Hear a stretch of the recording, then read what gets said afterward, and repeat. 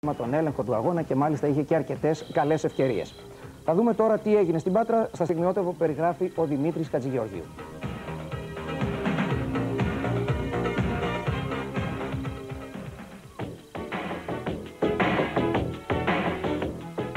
Θα κόψει ο Κλόπα, ο Πατίκας θα κάνει το σουτ. Ο Μίρτο μπλοκάρει και η μπάλα στα δίχτυα. Ο Πατίκα έκανε το σουτ έξω από τη μεγάλη περιοχή. Ο Μίρτο προσπάθησε να αποκρούσει, δεν τα κατάφερε. Μπάλα στα δίχτυα στο πρώτο λεπτό του παιχνιδιού. Παναχαϊκή ΑΕΚ 0-1. Παπαϊωάννου για τον Πατίκα. Αφήνει την μπάλα ο Ψαράς. Πατίκα μέσα στη μεγάλη περιοχή. Ο Πατίκα μόνος του θα πλασάρει και η μπάλα κόρνερ από την επέμβαση του Μίρτσου. Μπατίστα, Πατίκα έξω από τη μεγάλη περιοχή θα σουτάρει, θα μπλοκάρει ο Μίρτσος. Το κόρνερ για την Παναχαϊκή ο Ανδριόπουλος. Βάιτσι στο ανάποδο ψαλίδι, η μπάλα out. Βάιτσι θα τροφοδοτήσει τον Αντωνίου μέσα στη μεγάλη περιοχή. Αντωνίου θα μπλοκάρει όμως το Μίνου. Σαβεύσκι στο κόρνερ για την ΑΕΚ. Το Βασιλόπουλο, σέντρα του Βασιλόπουλου.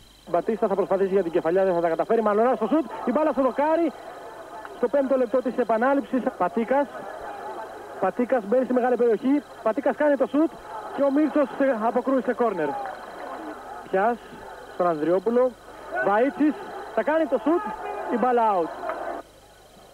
Μπατίστα για το Σαββίδη. Σαββίδη μέσα στη μεγάλη περιοχή. Σαββίδη θα πλασάρει και είναι το 2-0 για την ΑΕΚ στο 37ο λεπτό της επανάληψης. Σαββίδης μόνος του μέσα